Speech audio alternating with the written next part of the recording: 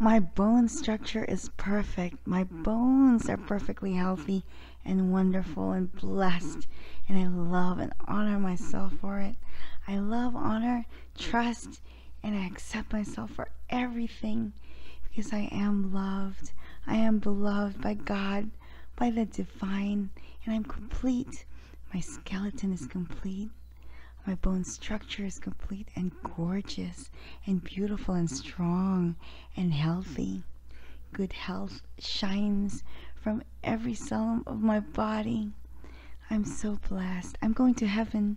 I am dying, and it's so wonderful. I'm going to heaven and I'm going to be with my grandparents and people have passed on, with the angels and my beloved pets who have passed on.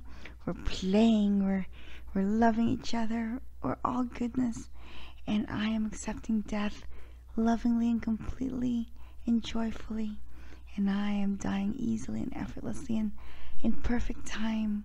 There's always divine order. And my bones, they're wonderful. God bless my bones.